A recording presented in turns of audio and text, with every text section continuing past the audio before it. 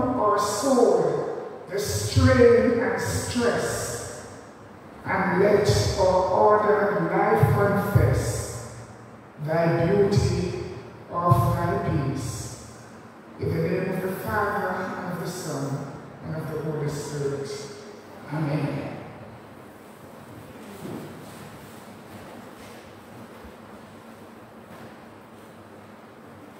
Friends, I remember a few years ago when we didn't have a minister and I had to do a funeral service at one of our congregations for a young man. But this young man and most of his family did not have a church connection at all. To my knowledge, they had no faith in Jesus Christ. Yet at the graveside, some of the members of the family came and asked me if I thought the deceased would go to heaven. Brothers and sisters, I politely said that the deceased decision was not mine, but God to make. But one in particular got quite cross, and in Jamaica, when we talk about cross, cross, angry, miserable. One came up to me and for, for, for that answer that I said, of course, they will be in heaven. They were, he was a good person.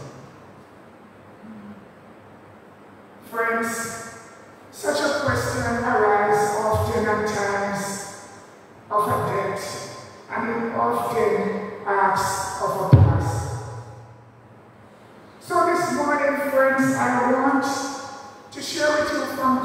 Word to put before you the way of salvation, that you have assurance about heaven as your eternal destiny.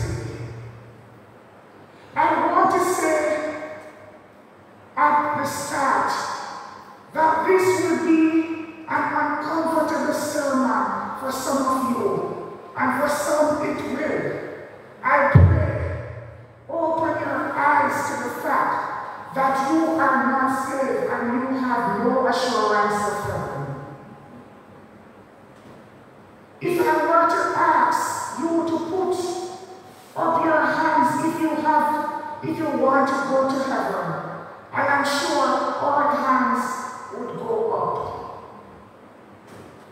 If I then ask you to put your hands, if you were certain you would go to heaven when you die, and also certain fewer hands will go fewer hands will go up that shouldn't go up.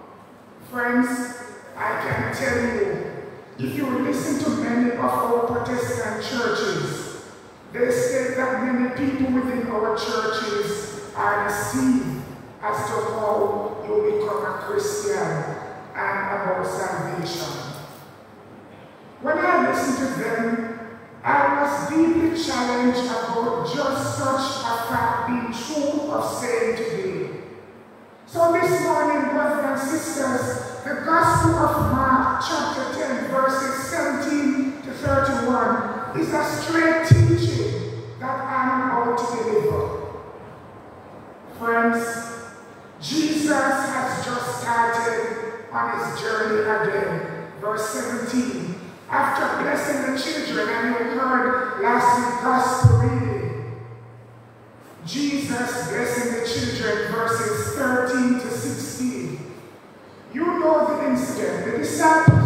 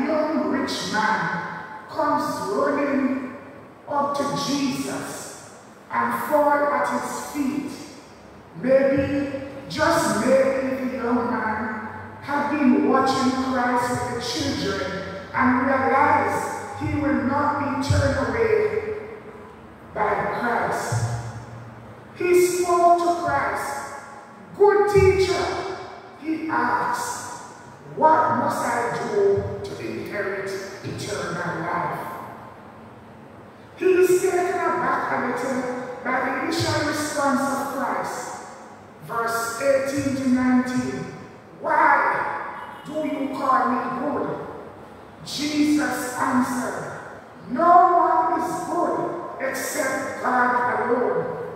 I was always troubled by the response of Jesus here, brothers and sisters. Friends, when you listen to the reading, it would appear that Christ is saying that he is not good, and the title good should not apply to him. Yet, when I read a little deeper, I realize that what in fact was happening was that Christ was challenging this young man to think through the cost of what he has just asked. If good can only apply, be applied to God, and this young man has applied it to Christ, then he had better take seriously what Christ is about to say. He's running after Christ and falling on his knees before him, show an emotional response and impulse nature about Christ, wants him to have eyes open to the cost of eternal life and all the implications of it. Friends, Jesus went on to say, You know the commandments. Christ goes on to set before this young man the moral law of God. Now look at this list here, brothers and sisters. You shall not murder. You shall not commit adultery. You shall not steal. You shall not give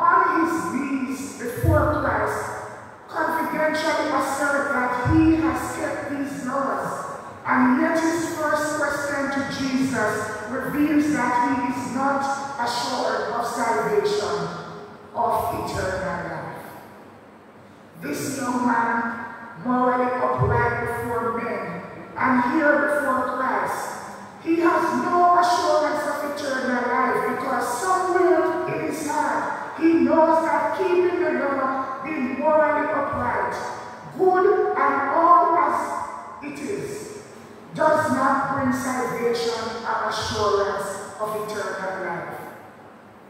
His reply, friends, all these I have kept, reveals the longing in his heart.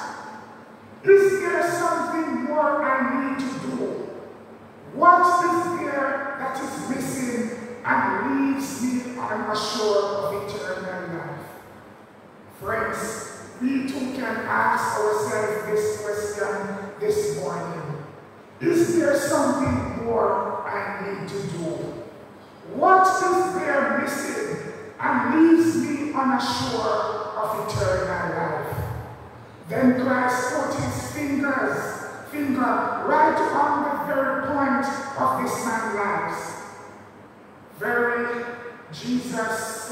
verse 21, look at him and loved him. One thing you lack, Jesus said, go, sell everything you have and give to the poor, and you will have treasure in heaven. Then come follow me. Just like how the young man is challenged to give up and then follow Christ, many times we too have the same challenge of giving up the things of the world and our possession to come and follow Christ. Especially as it comes down to ministry, brothers and sisters. We see how we have a shortage of priests in our diocese because persons are afraid to give up, give up their jobs and come follow Christ. Friends, I know of persons who has given up a lot of things and follow Christ. Even us in the church too, you know, giving. Friends, we have to look into it. We need to give up things, brothers and sisters. Give up things. The hatred, the backbiting, all of these things that are hindering us from coming and following Christ. The church will grow, brothers and sisters. We have to look into ourselves. We watch ourselves in evil giving. Evil giving, friends, is a challenge for some of us. Church, I get too much. Even ourselves too, you know. Even ourselves coming here to get involved in the ministry and work of the church is a part of giving up the things of the world and following Christ. Friends, let us not be like that young man. What is the response this morning? Are you like the young man today, brothers and sisters, who will walk away downcast, our heads bowed down and face swollen, and all because we would not give up our wealth for Christ? Friends, we crave the things of this world. The songwriter said there are things of this world that will go dim. And all we have to do is to give up. Give up. Some of us spend too much time craving for the things of the world and not craving for Christ. The only way we can have treasures in heaven, friends, is obeying the commandment of Christ. And he gave these outlines this morning. He gave us the outline of the gospel reading this morning. Friends, the disciples are amazed in verse 24 of the gospel reading this morning. At this, but even more shocking is to said them, it is hard for a rich man to enter the kingdom of God. He illustrated it by taking the largest of the animal, the camel, and asking how difficult it would be to be tread and legal with it. The illustration, brothers and sisters, the disciples wondering who then can be Christ answered their queries by stating that man cannot be saved himself. In fact, it is impossible, but with God, all things are possible. Salvation, friends, is impossible for man and possible only with God. There is no satisfaction without salvation. It is this point, friends, I to bring on this morning. Here before for us is a picture of ourselves this morning, brothers and sisters. You may not consider yourself wealthy, but you are. Materially this morning you are wealthy compared to two-thirds of this world. But that is another issue entirely. Look again at verse 19. The list of commandments show a man who is morally upright in character and life. You would fit in their friends, wouldn't you? You seem to live a good life. You like to think that you are a good person, and worthy of a morally upright person, and yet it is such a person unto you, and that Christ says, give up everything you have and follow me. He says it to you this morning, and what you are going to do about it, friends. Turn, look at Matthew, and when you go home and you have that time, look at Matthew's reading, Matthew 7, verse 13 to 23. So you can just jot it down. Read Matthew chapter 7, verses 13 to 23. I want to take a moment, friends, and look at Matthew 13, Matthew 7, verse 13 to 23, which speaks of Matthew 7, verse 13, speaks of enter through the narrow gate, for the gate to is wide and the road is easy that leads to destruction, and there are many who take it, for the gate is narrow and the road is hard that leads to life, and there are few who find it.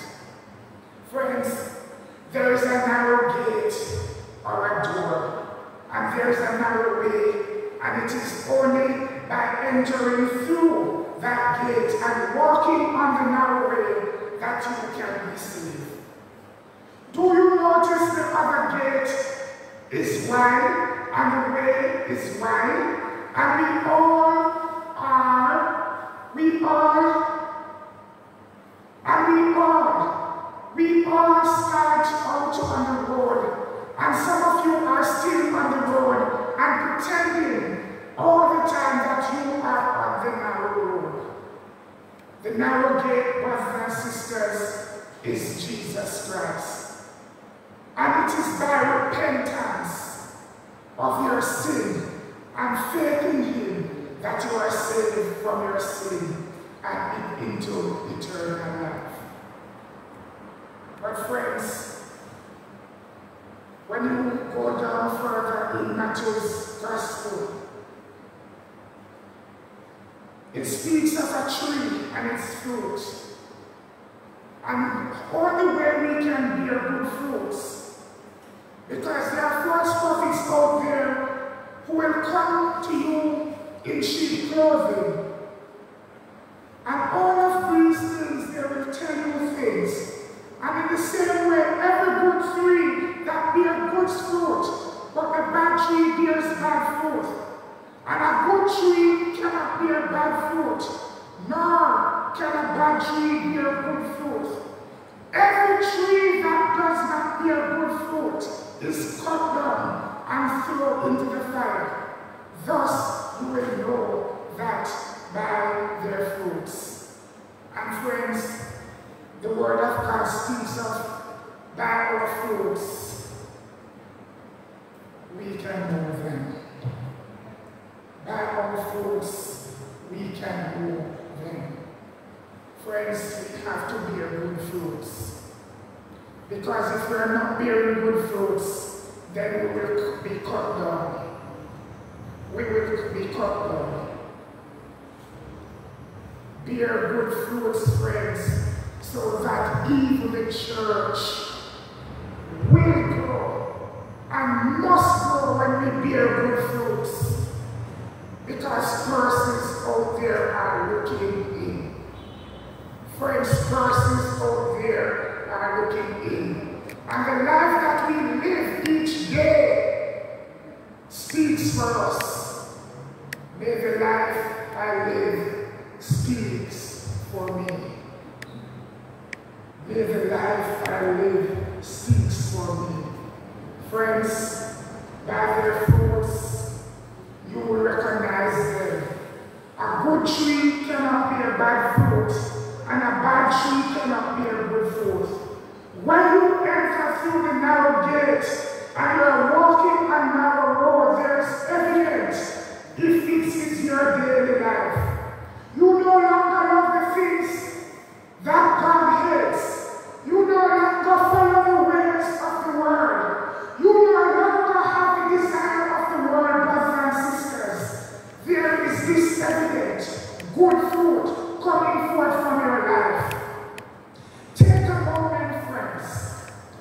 moment and listen to verses 21 and 23 to 23 of Matthew 7, verses 13 to 23.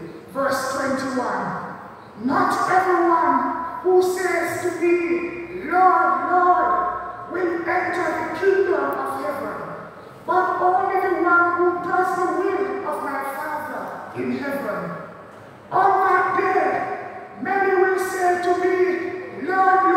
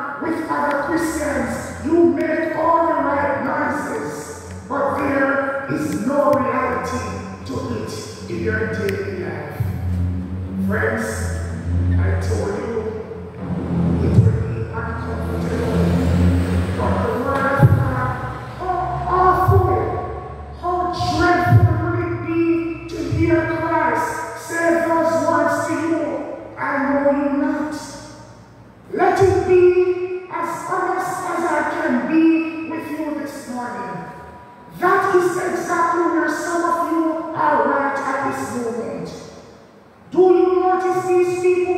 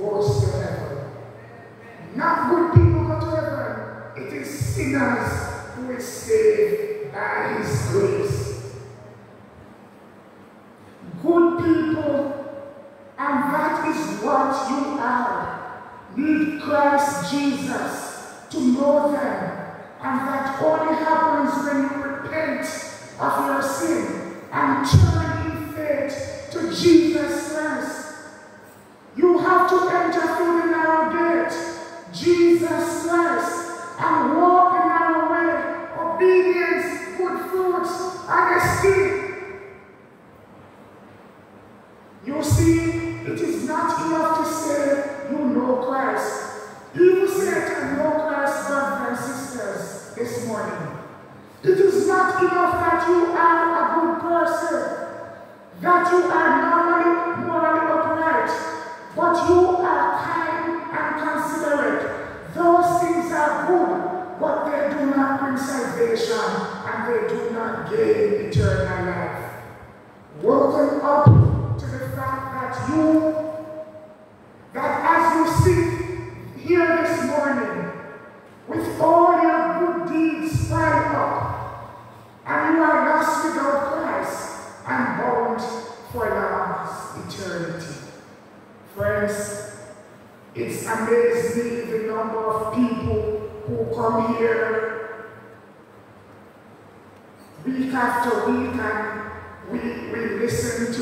The sermons online and all these things who remain totally untouched by the gospel.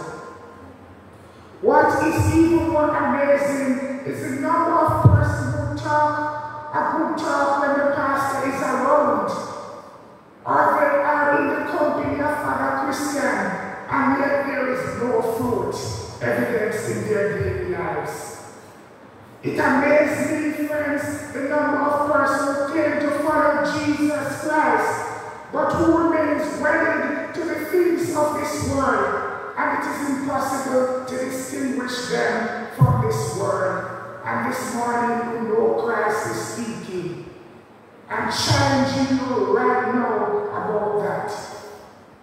You are no different from the world, and you are in the world, and you are of the world, and worldliness directs and dictates your life, not Christ.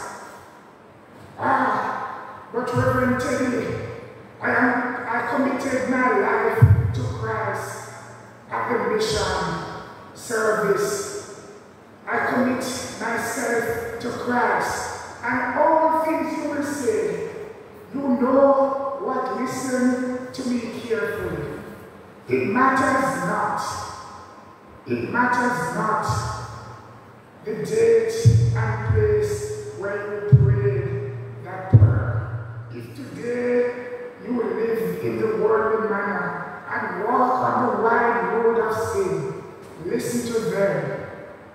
We did miracles. We prophesied. We cast out demons in your name.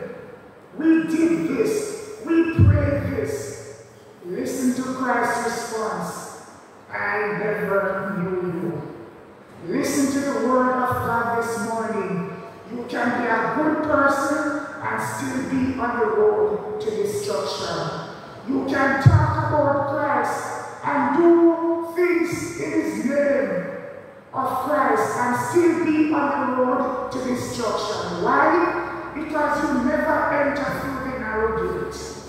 You never truly repent of your sin. Not just saying sorry, not just pray a little prayer of commitment to Christ,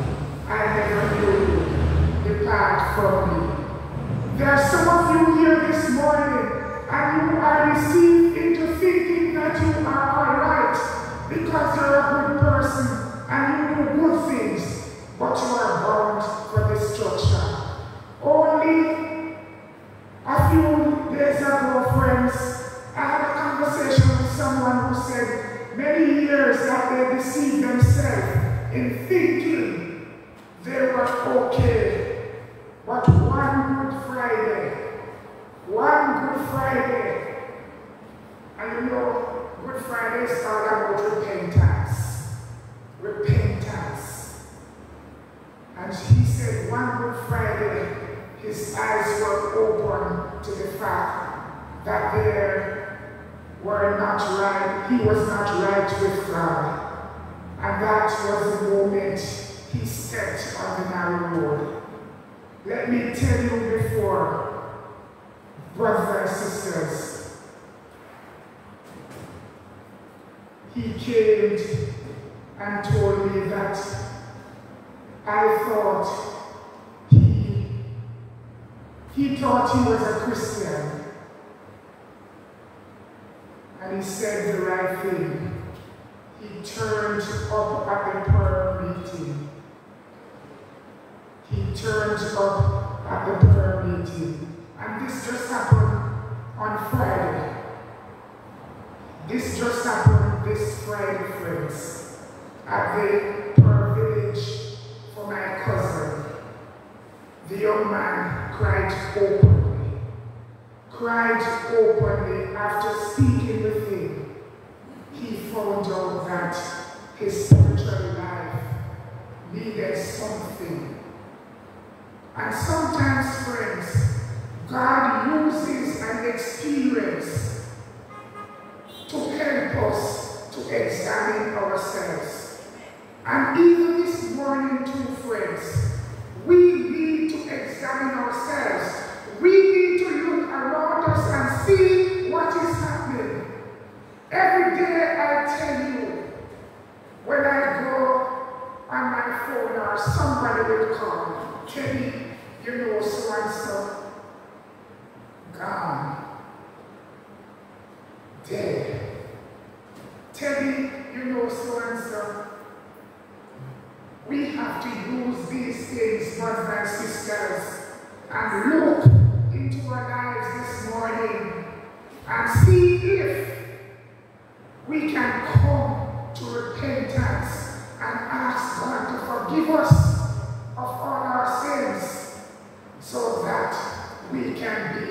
on the right road for Christ. Friends, as we go through today, as we go through today, let me say to you, there are some of you here this morning, and that is exactly where you are. You need to examine yourselves.